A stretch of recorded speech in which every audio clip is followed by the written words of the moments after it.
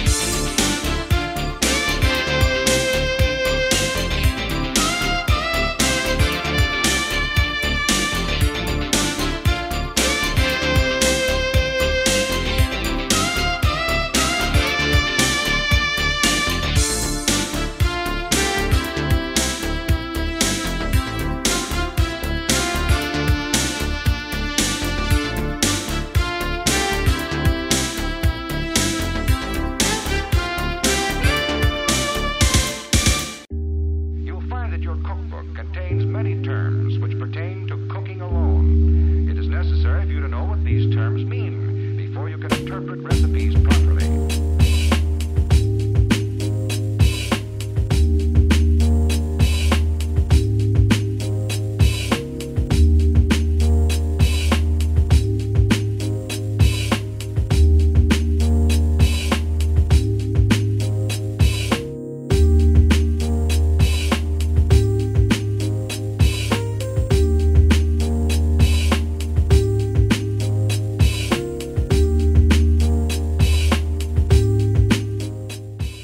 Of the two restaurants, the atmosphere at Aramos feels more casual and relaxed.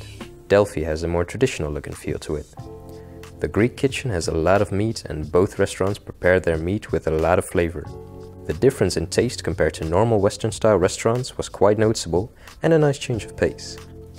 Both restaurants serve delicious food, so if you're looking for a more classic style, we'd recommend Delfi, and if you're looking for something that's rooted in the Greek style but with a more casual representation, go check out Aramos. This was We Eat Food for this time, and we'll see you guys on the next one.